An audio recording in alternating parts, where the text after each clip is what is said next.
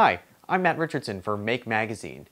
Using an old cigar box, I wanted to make an electronic version of one of those mechanical wind-up music boxes, and I thought there were a few different ways I could do it. I could use one of these electronic greeting cards that plays music when you open it, or I could use an MP3 trigger board or an Arduino shield, or I could use an old MP3 player. I decided to go with this cheap knockoff MP3 player because it has this switch on the top that when you flip it over to on, the music just starts to play, and I think it's going to make it a lot easier to hack it for our music box. Let's check out what's inside.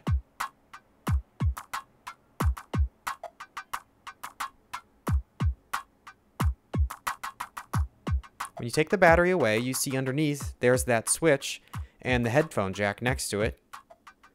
And on the bottom, the SD card slot and the USB port. Let's see how we're going to make this work.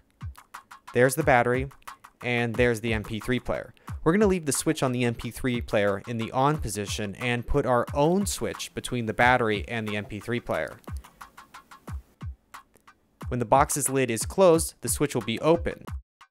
But when we open the box, the switch will close, connecting the battery to the MP3 player, causing the music to start to play. I measured out a spot on the side of the box for a snap action switch and cut out a notch with my Dremel. Now, it's not a pretty notch, but the switch seems to fit okay. I soldered a couple leads to the switch.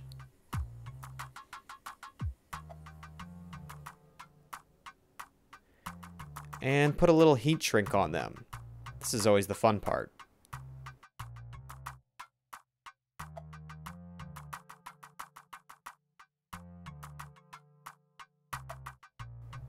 I wanted to be able to easily charge the battery and change the songs on the MP3 player, so I found this panel mount female USB adapter.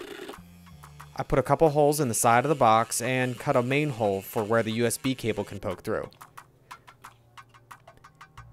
Admittedly, it doesn't look very good, but it works just fine.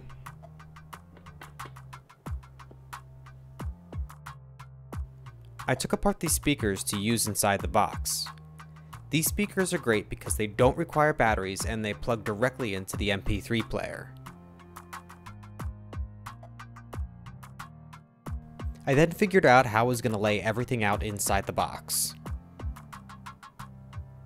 I desoldered the battery from the MP3 player and soldered the battery to the switch. Heat shrink. I soldered the other lead from the switch to the MP3 player. Now it's time to test it out. When you let go of the switch, the MP3 player should play the file that's loaded on the SD card. If that test works, you could just mount everything inside the box. I wanted to give this music box as a gift to a friend of mine who is an avid video gamer, so I loaded up some 8-bit style video game music on there. And as a matter of fact, there's the perfect amount of room for a couple Wii remotes. The MP3 Music Box makes an amusing and whimsical gift for a friend, and it's easy to customize to their musical taste. Thanks for watching.